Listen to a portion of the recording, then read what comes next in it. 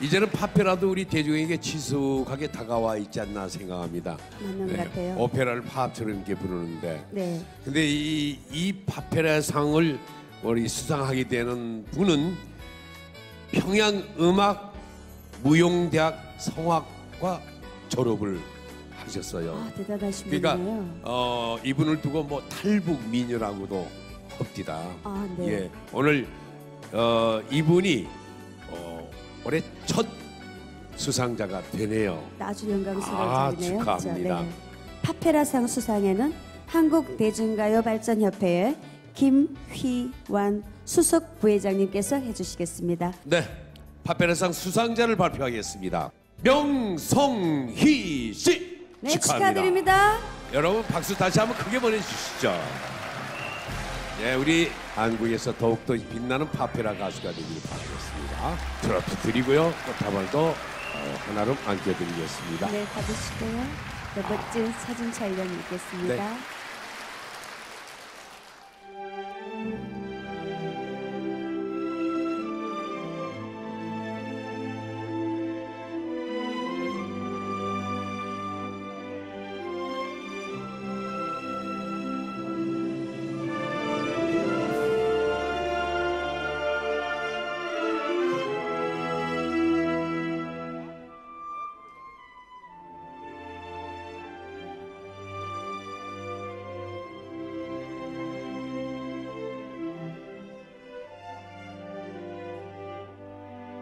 the world.